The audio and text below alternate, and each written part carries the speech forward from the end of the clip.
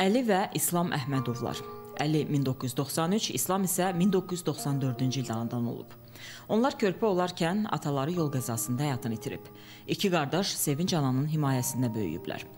Hər ikisində vətən sevgisi, düşmənə nifrət hissi olub.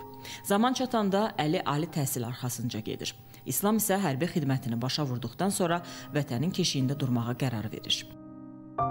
Elə Əli də hərbi xidmətdən sonra orduda qalmağı, vətəni qorumağı üstün tutur. Amalları isə torpaqlarımızı işğaldan azad etmək olur. Əli də, İslam da haqq savaşına ilk gündən qoşulurlar. Fərqli hərbi hissələrdə xidmət etsələr də müharibədə bir-birindən xəbərsiz eyni cəbhədə döyüşürlər. Əli öncə Kəlbəcər istiqamətində, daha sonra Suqovuşan uğrunda vuruşur. Beləliklə vətən sevgisi, haqq savaşı onları Tərtər cəbhəsində birləşdirir. Bir cəbhədə, amma ayrı-ayrı yerlərdə döyüşən qardaşlar eyni gündə şəhadətə qovuşur. İki evladım var idi. İkisi də bu 44 günlük müharibədə şəhid oldular. Mən həmişə onlarla fəxr eləmişəm. İndi də fəxr eləyirəm ki, belə ağıllı, kamallı, igid, qəhrəman evladlarım olubdu. Dünyada tək tutunacağını, övladlarını itirdi Sevinc ana. Amma vətəni qaytardı Əli.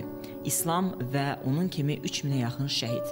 Şəhid qardaşların dayısı Elxan da 1-ci Qarabağ savaşının iştirakçısı olub. Deyir ki, həmin dövrdə idarəetmənin zəif olması və digər məsələlər onları geri çəkilməyə məcbur etdi.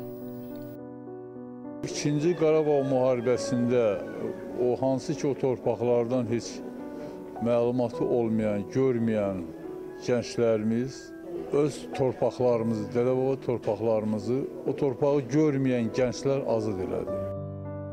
Şanlı tariximizə şəhid qardaşlar kimi düşdü Əli və İslam.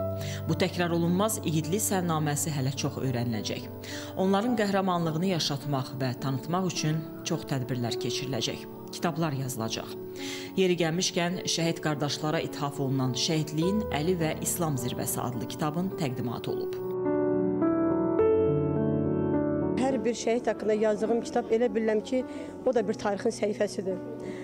Və e, missiya bir dənədir. Biz e, şəhidlərimizin qoyduğu tarixi gələcəyə çatdırmaq və kitab şəklində bu gələcək nəsillərdə nümunə kimi onlar hər birisi oxuya-oxuya qəhrəman olmağı bacarmalıdırlar.